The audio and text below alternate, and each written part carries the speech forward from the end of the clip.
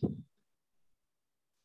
All right, so this webinar is being recorded. Welcome everybody as people start to join us. We are on live on Zoom. Um, we're gonna wait for people to keep logging on here and joining us. I'm seeing we have a couple people that have logged on. We just want to let you guys know a couple housekeeping things before we get started and we wait for people that you guys are muted and you won't be able to see each other. You're only going to be able to see myself and my fellow panelists um, and visitors, Pam and Christiana, and we'll get to know them a little bit better in a minute. Um, you can also, if you want to access closed captions, you can go on our Facebook, the museum's Facebook, and live stream there and select closed captions. And we'll be throwing helpful links in the chat. We'll also have a recording of this, which we are recording right now, um, and we'll be posting it to our live programs page later for you to access there. But while we wait for people to join us, why don't you guys go ahead and say hi, tell us where you're visiting from, um, visiting the Zoom from. You can also, we'd also love to know um, if you want to share with us, what do you like about butterflies and moths? As we wait for folks, go ahead and throw that in the chat box. Um, I I know personally, I love moths and I love their fun little antenna um, that are very like feathery and just cute. Um, how about you, Pam and Christiana? What do you guys like? I'm also a moth lover. And um, one of my favorite groups is the tiger moths because they're super mm. colorful and fluffy sometimes, and they're very cute. Yeah, I love both of them, but getting to work with so many different types, it's just seeing the diversity of all of them, all the shapes, all the colors, um, you know, different body shapes, different wing shapes, everything. You just see something new every day in the collection. That's so cool. Yeah, there are so many different ones. Oh, and I see here we have um, Los Coches Creek Middle School joining us. Good morning. Um, and they're saying beautiful colors, which definitely, um, whoops. I'm just telling me you could see my team's messages and I don't know why that is. I'm going to close that. hopefully I'll only have them on my thing. Okay, so uh, we have a couple more participants now, so I just want to repeat with you all um, that you're muted. We can't see you or um, your screens or anything like that, but we'd love to hear from you in the chat. Let us know what you like about butterflies and moths. Um, you can also watch us on Facebook Live right now, and we'll have a recording of this. We are recording, we'll have it on our live programs page later. But feel free to say hi, drop in the chat what you what you like about butterflies and moths. Um, anything else I'm seeing from people here? Okay. Ooh, vibrant green colors I'm seeing from Danielle.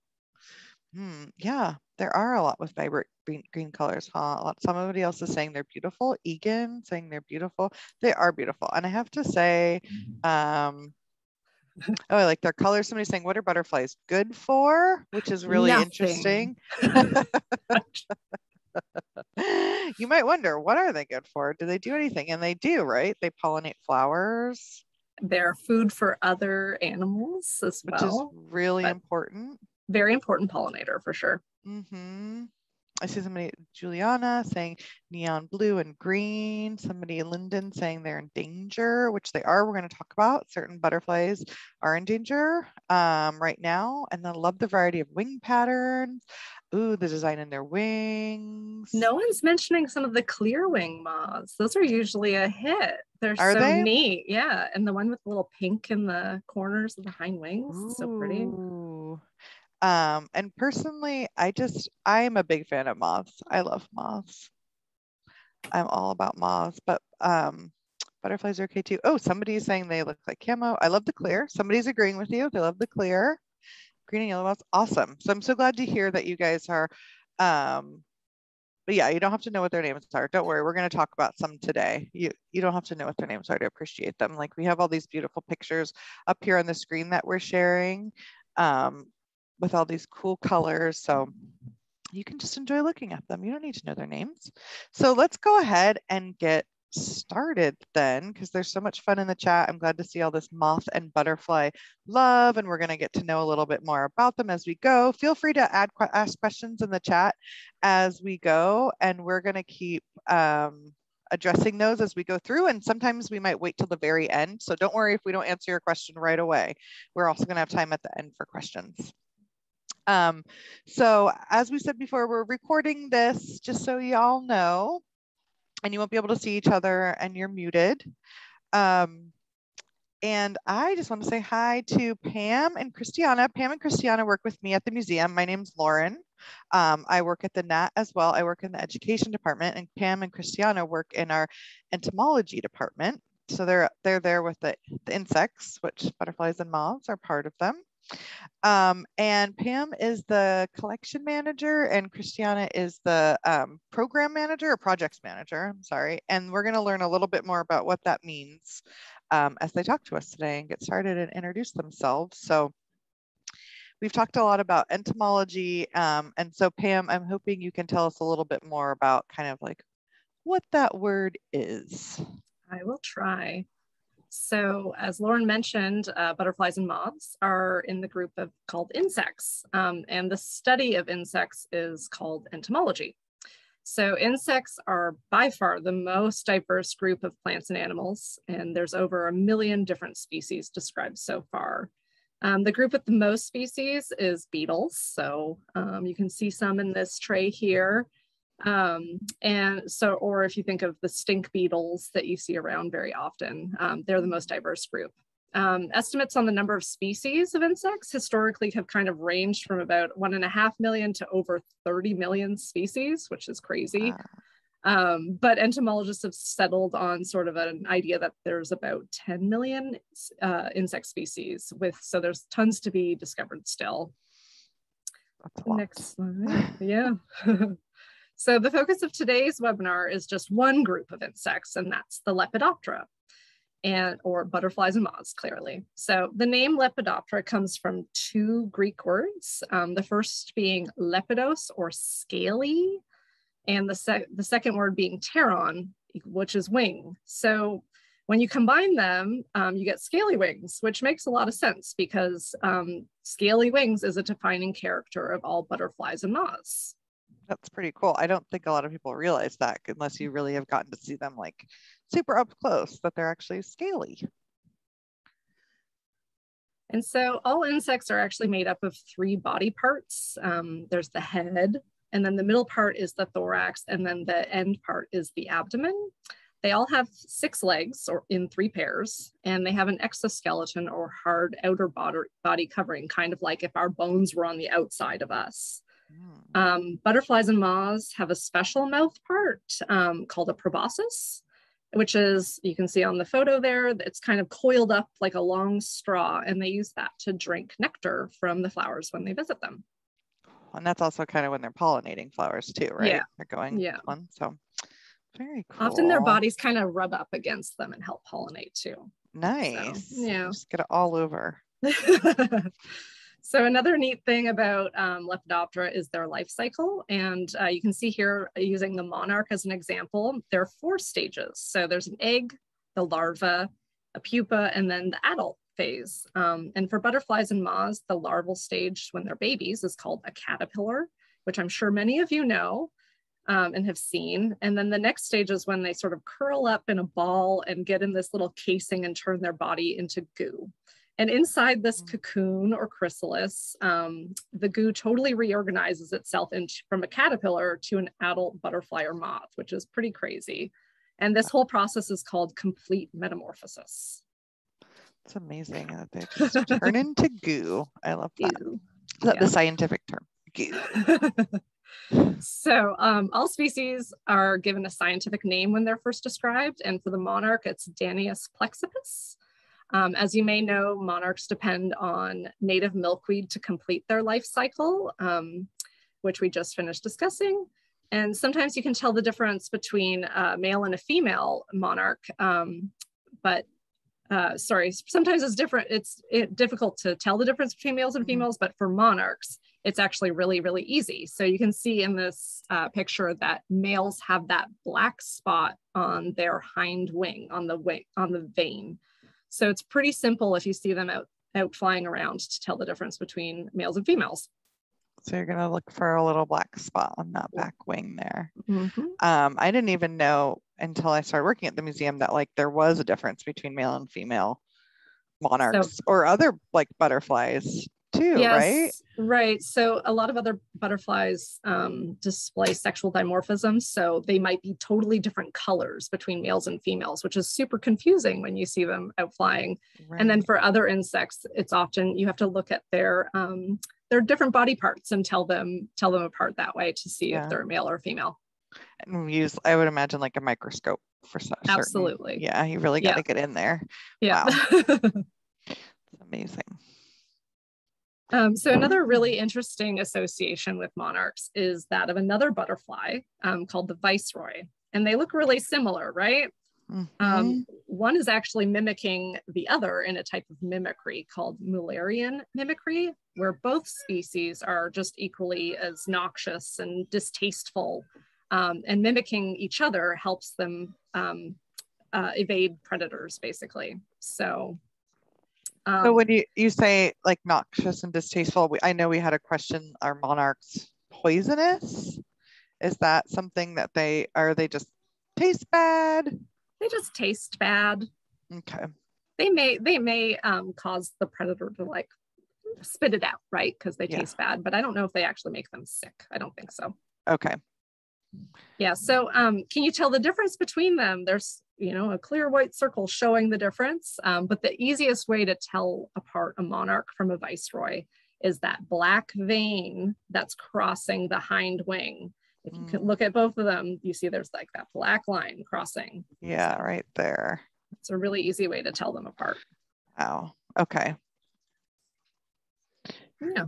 Cool. Okay, so I know that you've put together like a little game for us that we're going to play with the polls, and Emma's going to help us with that. She's going to do um, our polls here, but we're going to look at pictures and try and figure out if it's a monarch or a viceroy. And we can do this together because I know it can be really hard. Um, I have a lot of trouble, monarch or viceroy. So if you guys are ready, let's go ahead and let's look at this picture. There's a butterfly here.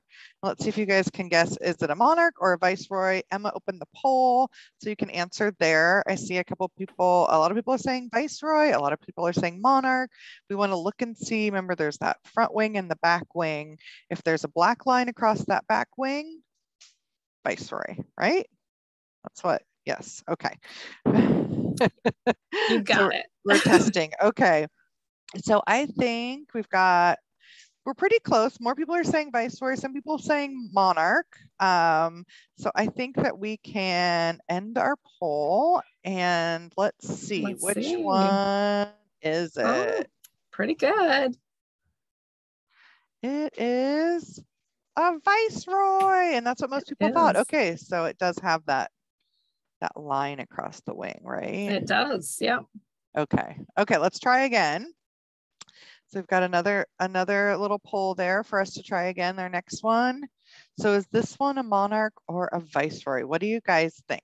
And I know this seems hard because we literally just learned it. So don't, no pressure, but we're looking for a black line, right? If we see a black line across the, the back wing, I see most people are saying monarch. A couple people are thinking maybe it's a viceroy. Okay. You might have to move the poll box aside oh, too, right? Oh, is it it covering people. the image. Mm, mm-hmm. okay, mm. yeah, you might have to like. you can just kind of see the corner of the wing on my screen. Oh, okay. Well, that's makes it hard. so let's go ahead and end the poll. Most people were thinking it was a monarch. Let's see, which one was it? Good job. You're right. Monarch. Yay. Okay. And now we have our third one. This one more a bit time. tricky. Just warning you. Let's see. Oh, yeah, that is tricky. It's like a side view.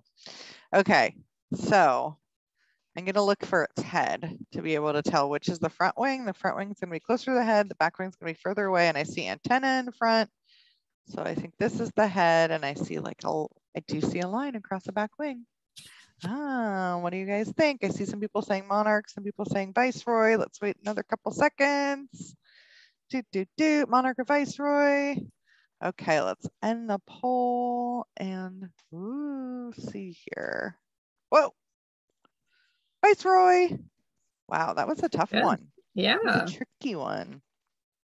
Just throwing Um, you guys off. Yeah, well, that was fun. Okay, so now I feel a little bit like a bit of a monarch viceroy expert. And our um, monarchs and viceroys, are there something that we would see in San Diego? So not really. So you're pretty safe. If you see an orange, a larger orange butterfly flying around, it's most likely going to be a monarch. Um, viceroys are actually just east of the Sierra Nevadas. So they, Okay. they can come over here, but it's a pretty rare event. Okay, so we're usually in San Diego, Southern California, we're seeing monarchs when we see this Yeah. type of a, okay, that's good to know. So otherwise I would have been real worried. oh, okay. So now we kind of looked at two different types, two different species of butterfly, um, but moths and butterflies. So two different types of Lepidoptera. How do we tell the difference between the two of those? Because I know that that's always a tricky kind of thing. Yeah, it's a really common question that comes up um, how to tell the difference. So, like Lauren said, they're both in the order Lepidoptera, um, but there are some key differences you can learn to tell them apart. So, I'll talk about a couple of the main differences that you can easily distinguish without a microscope and whatnot. So, Okay. you can go to the first one and the the easiest way to tell the difference between a butterfly and a moth is by their behavior so when they're out flying around um, butterflies are usually found during the day and moths are usually found at night so um, there's always exceptions to this but this is a pretty hard fast rule so if you see something out flying during the day you're probably looking at a butterfly Okay. Yeah. So most of the stuff we're seeing around like our porch lights or lights at night are probably moths. Exactly nighttime. And so another easy way to tell them apart is actually um, how they fold their wings or hold them at rest. And so butterflies can't really fold their wings and they hold them over their back in sort of a tent-like position. Um, while moths, when at rest, they they actually have the ability to fold their wings. So they kind of like slide them over one another like this over their backs. So you can see between the photos a little bit of a difference, right? The butterfly has its wings up over its body, um, and then the moths fold them flat over their body. So, So the butterflies are on the left. Um, on the left, painted yeah, lady butterfly. Yeah, that's okay. right. And then a variety of moths that I collected off of a sheet this summer. Ooh, that's pretty fun. I have Yeah. heard, I've never gotten to do that, but I hear that's how entomologists go mothing is they set up a sheet and put a light on it. Absolutely, yeah, black light. So, mhm, very Ah. simple way.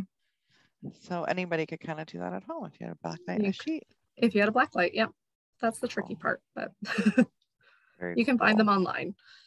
Um, and then, so like I mentioned, there's always exceptions to the rule. And so this one's a really big exception, and it's a whole family, a whole group of butterflies called the skipper butterflies or Hesperiidae. Um, and they actually have the ability to fold their wings. So if you do see something flying during the day and its wings are folded over its back, and it's brown or orange, most likely, it's probably within this family of butterflies. So, Okay. yep. And these little guys are out during the day kind of fluttering about. They're pretty little, right? They're like, They- Yeah, they're like an inch tops. Yeah, they're pretty small.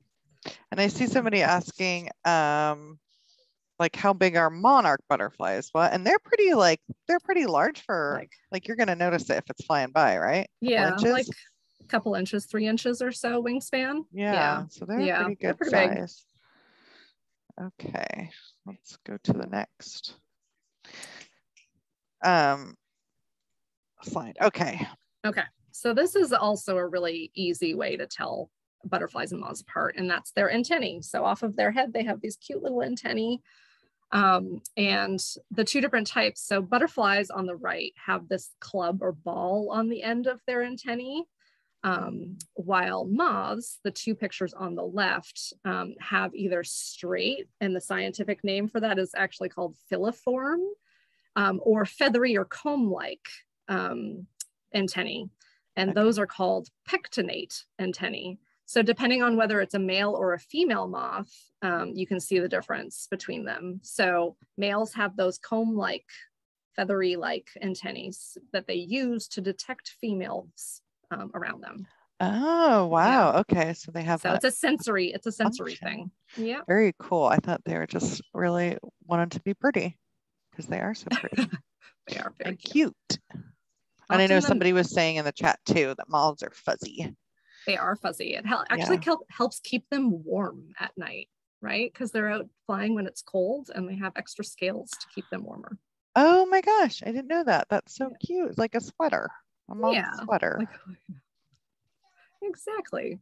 So, in the last way to tell moths and butterflies apart um, that I'm going to talk about today is, um, like I mentioned earlier, that cuckoo, that pupal phase where they turn to goo. There's a difference between um, moths and butterflies. So, on the left is a pipevine swallowtail, and you can see the pupa hangs from a branch, and it's a hard exoskeleton, kind of like a hard chitinous case and that is called the chrysalis. So whenever you have a butterfly in that pupal phase, it's a chrysalis. It's a specific term for butterflies. And then a cocoon is actually spun with silk and moths spin a silk cocoon for their pupal phase. But other insects also use silk and spin cocoons as well. So it's not just for Oh. moths, Okay. but And- chrysalis just butterflies. Chrysalis is okay. Oh, Yeah. wow. So that's totally unique to butterflies as a chrysalis. That is very cool. Yeah. So those are some of the easiest ways to tell moths and butterflies apart from one another.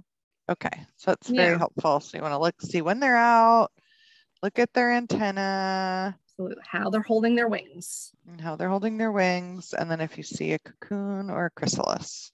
Yeah. Very cool. Yeah. So now that we've answered a couple of your burning questions regarding biology of butterflies and moths, um, I'd like to bra- bring you in for a brief tour of our entomology collection and show you how we store all of these these things. And I do, I just want to interrupt really quick, Pam, as I Yeah. noticed that in the chat, there's kind of like some spamming going on. So we're going to have to turn off the chat if um, we can't focus, because I know it's kind of hard to focus when there's spamming going on. So we might have to stop the chat, which is a bummer because then people can't ask their questions. Yeah. Um, so please stop spamming the chat. Otherwise, we're going to have to turn it off. And we don't want to do that because we want to hear from you guys. And I will say, um, Pam, a couple questions that popped up, and maybe that's something we're going to have to look up because um, I have no idea. It's very specific, but monarchs and viceroys, somebody's asking kind of like how long of a lifespan do butterflies and moths have? How long of a sp- lifespan do monarchs have? Um, so I don't know if there's any sort of, because there's so many different ones, any sort of general rule or pattern out there? Yeah, so in general, I think you would say a week or two is the Oh, wow. general lifespan in the wild. So in captivity, they can last a little longer sometimes um, if you're taking really good care of them. Yeah. Um, but yeah, usually a week or two is the lifespan. So, but it totally depends on the species. okay. Yeah. So it's like general, but then there are specific ones that like have a totally different, they can live longer or even shorter, I imagine, Yeah. right? Yep. Okay. Some burst out and are only uh, in the world for a day. Oh, wow. So yeah. they really have to make it count. Yep. So now, okay, so so we're gonna see where you and Christiana work, the entomology collection at the museum. So behind the scenes at the museum, if anybody has gone to the museum, this is actually on the third floor. There are doors up there. You may not even notice them, but if you actually go behind them, there are all these researchers, scientists working, and they are here doing really cool stuff. And we're gonna learn a little bit about that. So Yeah. So when you first walk into the collection room, you just see this bank of teal cabinets, basically, um, and they roll on the floor and have cabinets on on them um, that securely store um, insects. And all of our collections here are housed in similar types of compactor systems. So then, if you open um, one of these white doors, you can see that there's a ton of drawers inside of them. Um, and each of these, it sort of behaves like a library of insects. Each drawer is labeled with what you can find inside of it. So you can see the drawers pulled out there. There's lots of butterflies. And then when you pull each drawer out, you can see that um, there's all of these little white boxes, which you call unit trays. And each of these generally holds um, a different species of Lepidoptera. Um, and as you can see in the upper left corner of the tray, um, the single tray, um, this is a, there's a little gray label telling you exactly which species it is. And in this case, it's ah. Nemoria pulcherrima. Um, yeah. and it's a lovely green moth in the family. Thank you for circling that. Perfect. Yeah. um, it's within the family Geometridae, um, which the other name for that group is the inchworms because their caterpillars are those little ones that ah. inch forward. Um, and so we have a number of specimens um, uh, of, of certain species and it can take up more than one unit tray sometimes. Sometimes it can take up more like all more than a drawer. Um, but in this case, there's a couple different species and each box sort of indicates that. Um, so, so, now cool. that we know a little bit more about butterflies and moths and how we store them in our collection, um, Christiana is actually going to speak a little bit about the next steps we take in order to get the data from each of these specimens um, out and accessible to everyone. And she'll specifically tell us about our LepNet digitization project as an example of this. Very cool. And I love seeing all of these. These are moths, right? Together. Mm-hmm. And they're like these beautiful green moths. And you were saying these are from San Diego, right? They are find them San here. Diego. Yeah. so cool. I would have, I had no idea until you said that. All right. These ones are tricky because they look a little bit like butterflies. Yeah, they yeah. do. They really They're do, especially delicate. like the colors too. I think it's easy to like think moths don't have a lot of colors, but a lot of them kind of do, right? Yeah, yeah. Really look pretty. at their little antennae, and you can see. Yeah, we need our microscope. Can't really, yeah. All right. So, Christiana, thank you so much, Pam. Yeah, you're welcome. Yes, thanks, Pam. I'm really excited to talk to you all today. As they mentioned, my name is Christiana, and I am the project coordinator here at the museum. And one of my most exciting projects is LepNet, which is very appropriate for today because LepNet is a project all about documenting and sharing our Lepidoptera collection. And our Lepidoptera collection is special because we actually have a regional focus at our museum. So that means that our museum is focused on um, collecting things from Baja California and Southern California. So if someone has a, a, specimen from that area, we are sort of the hub for that. So we have a really unique contribution to make. Um, before this project, um, which we'll talk a little bit more about, we didn't have any access to anyone other than people at the collection to our specimens in the collection.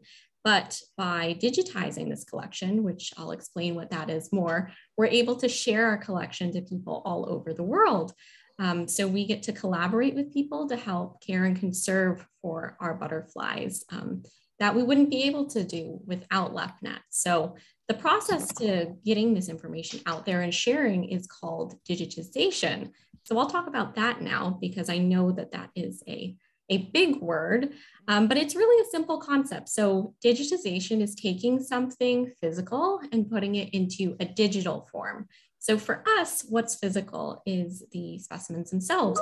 So we have specimens in the unit trays, like Pam said, and with every specimen, it's on a pin, and beneath the pin is um, a group of labels, and the labels will say information about how the specimen um, where the specimen was collected, maybe how the specimen was collected, when it was collected, and then you know what the specimen is. So we get for each specimen uh, a whole string of information about it. Um, and when it's physical, only people who can come and physically see the collection will be able to see the information on the labels. So when we digitize, we're actually moving all of that information onto a database that will go on the internet. So then people who are all over the world can go and see the information for each of our specimens. So we like to talk uh, about this process as being something that sort of unlocks our collection to the world. So right now I'm in the collection and so I have access to the specimens, but unless you're here with me right now, uh, you wouldn't. But with LepNet, when we digitize, we're going to unlock that so that anyone uh, who has internet access, wherever they are, can come and explore our collection in a way. So the digitization cool. process occurs in two parts. Um, the first part is an imaging process. So when we image a specimen, you'll see here the steps. we're going to move that physical um, that physical collection into a digital form in the form of an image first. So we Christiana, remove, sorry to interrupt you. I was going to say one thing because I I forget this because I'm older, but certain people that have just grown up with the internet like the internet didn't exist when i was born. So it's it's easy to forget that like other things existed right? So we have all these physical collections that aren't online right? They aren't on the internet and we actually have to put them there. So that's what this is doing. This is putting them on the internet. So we have like all this information that is yet to even be put on the internet. So when you think everything out there is on the internet, that's not true. There's all sorts of information that's not out there yet. So that's what Christiana is doing here with LepNet, which is really cool.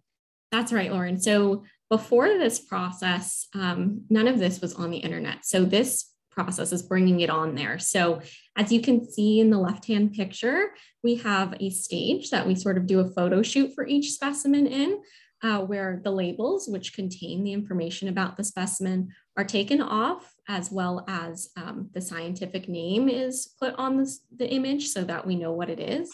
Um, we have a person that's imaging, and then it goes into um, a standardized image where you'll see here, this specimen has uh, a ruler so we can see how big it is. We have the specimen so you can take a look at what the specimen looks like. We have its scientific name. We have all of the labels that were on it, which give us all the information about the specimen. And then we also have a funny little label, which looks like a barcode. And that's because it is a barcode. So uh, for each specimen, when we image it, we also assign it a catalog number. And all that means is it's getting a barcode that's unique to that specimen. So like a product in the store has a barcode and you scan it and you get information about its price and all of those things.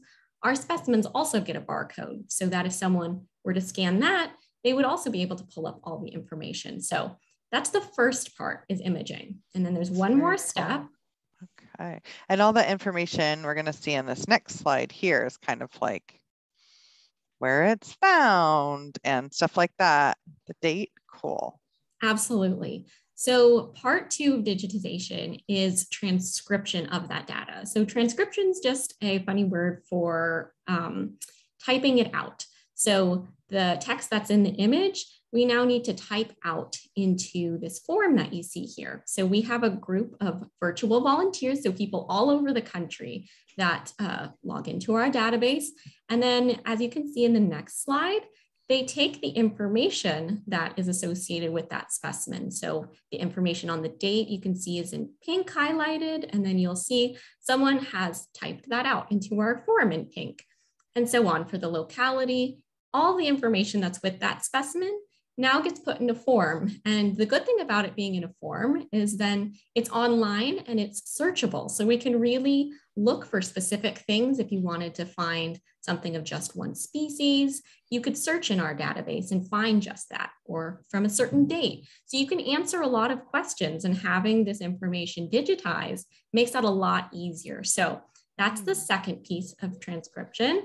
And that's the last piece. But you might have the next question, which we'll see. Um, oh, first, actually, uh, you might wonder how many we've done, because that's a huge question we get is how, how many specimens have we done? And a lot. So we have 68,000 records uh, right now. We have over 42,000 images. That accounts for over 3,000 species and those numbers keep going up. So we are still doing this project. We still have people taking pictures. Uh, we still have people databasing. So this project is um, continuous and ongoing. So uh, these numbers are just actually our starting point of this. And uh, every day, every day we're adding more to our knowledge into this database. So Wow. This so huge database. I was going to say that's a lot. Yeah. How many um how many butterflies and moths do you guys have in the collection at the museum in general? That's a good question. So when you have so many specimens like we do, it's hard to get an exact count. So counting one by one is really difficult. So sometimes we have to make an estimate. And so we make um, an informed estimate and then see from there um, how close we're getting to with that when we go through our project. So our initial estimate was around 150,000. So we've just kind of we're really just beginning. If we have 150,000 specimens, we still have so much more that we can still contribute with this project. Yeah. Um, but at the end of this project, we might end up finding that we have, you know, a little bit less than that, maybe a little bit more even. Um, but this project also lets us explore our collection and answer some of those questions too, since we are getting to interact with um, all of the specimens uh, in a way that we normally don't get to. So cool. And I noticed somebody in the chat was saying like, oh, I only thought moths were gray and black. And this picture here in the bottom right, those are all moths, right? Yes. They're Those huge. are all moths. They're huge. They're beautiful. They have eye spots and, yeah. and, everything. So moths aren't just tiny little brown things. They they come in all sorts of colors, all sorts of shapes, um, all sorts of sizes. So um, yeah, it's really it's really a diverse group for sure. And some and of those moths are... are... actually found here. So you can actually wow. find some of those really large moths, the Saturniids, um, around San Diego. That's what I was going to ask. so, I was like, I've never yeah. seen one here, but they're they're here. Yep. Wow, that's so cool. It's amazing. Yes. So this is the question that I I'm guessing you might ask. Uh, with all of these specimens out there and all of them digitized, you might wonder who can use them or where are they going to go. And so the answer is we do it for everyone, really. So institutions of learning can go and view them. So research institutions, um, you know, other museums, researchers themselves, they might be interested in a question. Instead of coming here, they can use our data online, but it's actually also available to you. So there is a, an international database called GBIF, and that will be included in the chat so you guys can go check it out.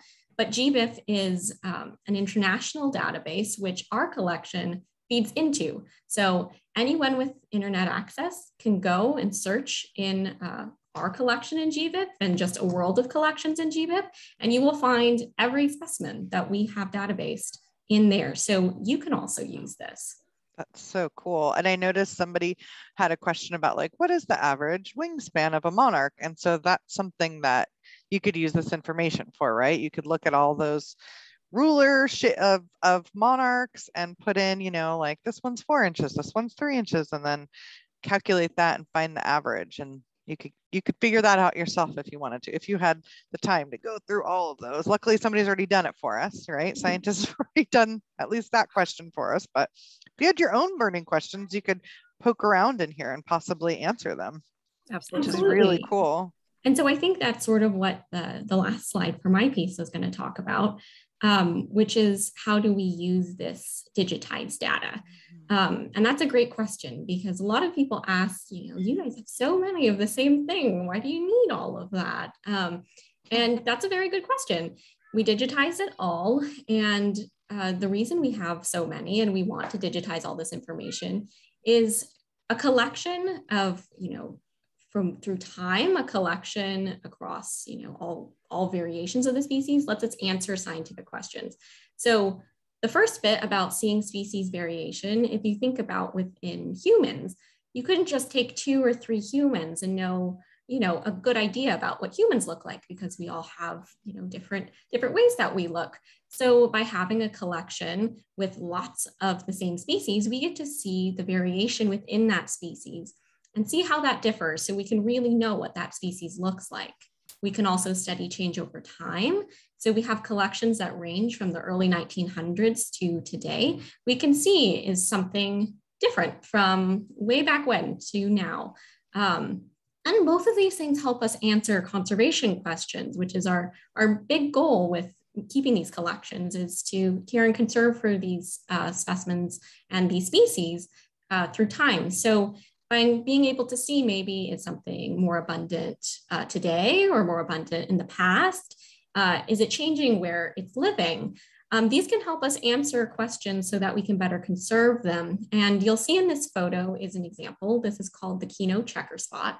This is very special to us here because the Quino checker spot is local and it is also protected. So it's something that we're very interested um, in knowing more about. And so by having a large collection of Quino checker spots, we can see and answer some of these questions about is it habitat changing? Um, is it, you know, is its abundance changing? Things like that.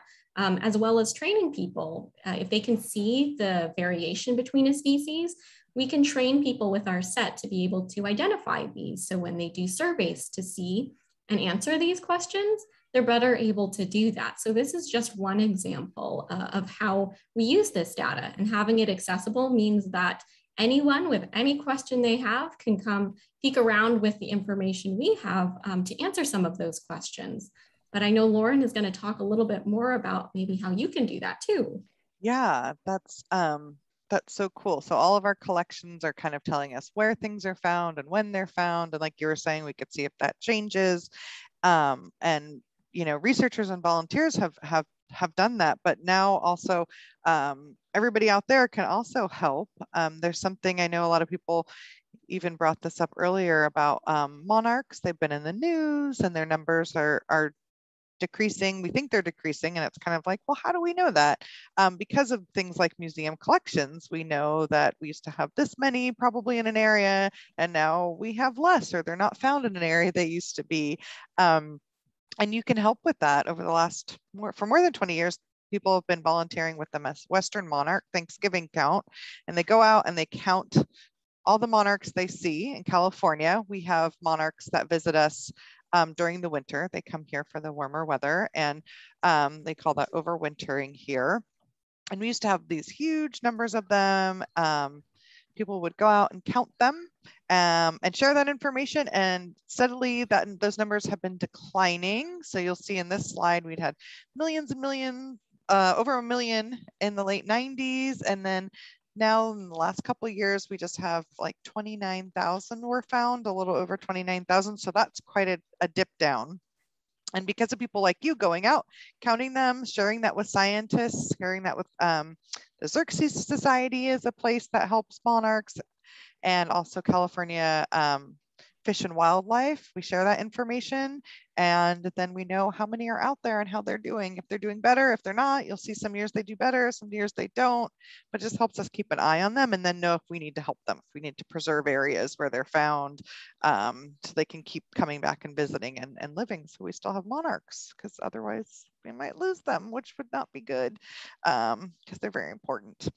Uh, and so we'll be putting in the chat. There's a place where you can get involved, take pictures if you guys see monarchs anytime now during the winter. So starting now through like the new year and winter, um, you, if you see a picture, if you see a monarch, you can take a picture and you can upload it um, to this website here and you'll see how to learn about um, monarchs and milkweed, which is really cool. Um, and that brings us to question time. We have a couple of minutes for questions. We're almost done because that was really almost out of time, full of information. I know we already answered a lot of questions. If there are any more burning questions, I know I saw some about um, why do monarchs and just in general butterflies and moths why do they have like patterning on them why are they the colors they are i know that that could be a really varied answer but do you guys have any sort of like general answer for that, Pam? Yeah, there's a few different reasons. So um, they can use colors to communicate with one another for butterflies during the day, you know, um, and then also to warn others, like the monarch with its orange or red or yellow are generally warning colors. Hmm. Um, and you don't see colors too often on moths because they're at night and they don't communicate that way. Oh, okay, that makes yeah. sense. So, and then they can also use it for camouflage. You know, there's lots of butterflies and moths that um, look very much like trees or leaves mm. or something like that. So they can use colors to blend in with their surroundings.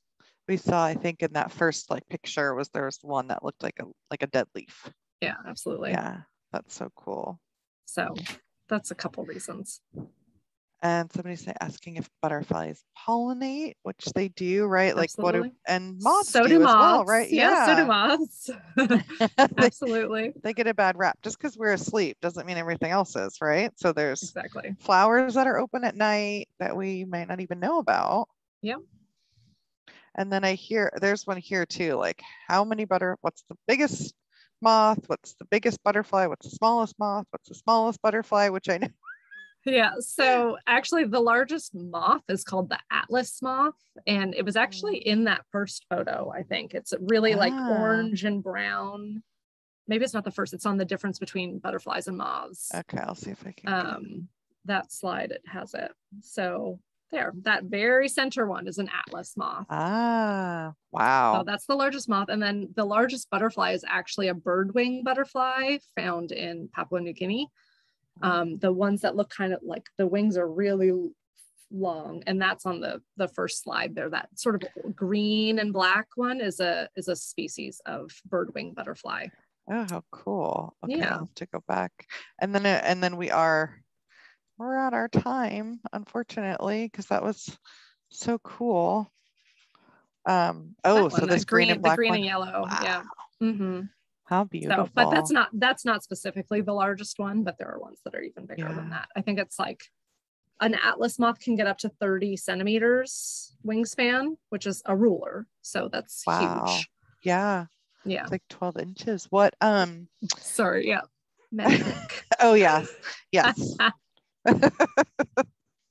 um okay so one Any last question i know we're Yeah. almost at somebody was just saying where do they live? Like where do mother butterflies and moths live? And i don't know if they mean geographically like just in the world where are they found? Or like habitat wise where they live? It seems like they're found everywhere um, in the world except antarctica. Okay. Um, and then uh, where they live is all over the place. Um, they kind of can hide anywhere at night. They will find any nook and cranny to hide but um, any habitat really. Wow. That's So, pretty cool. So they're yeah. all over the place. They're really really important then. They're doing a Yep. lot absolutely Well, thank you guys so much. Thanks, Pam and Christiana. That was really wonderful. That was so much great information. Um, and we will be um, back next month too with our partners, Climate Science Alliance. Uh, so join us then. The information will be on our live programs page for how to RSVP. We'll be talking about climate change um, and sea level rise. And um, there's also a fun citizen science project. You can get involved with that. So thanks so much for joining us, everybody. Um, I hope we answered some of your burning butterfly and moth questions. There was a lot. There are a lot because I think everybody has some really great questions out there. So thanks for sharing them with us and thanks for sharing your brains, Christiana and Pam. That was that was Thank wonderful. Thanks so much. And thanks Emma and Thank Haley you. for helping us on the back. So have a great afternoon, everybody, and a great weekend. And take care. Thanks. take care thank you Bye. Bye.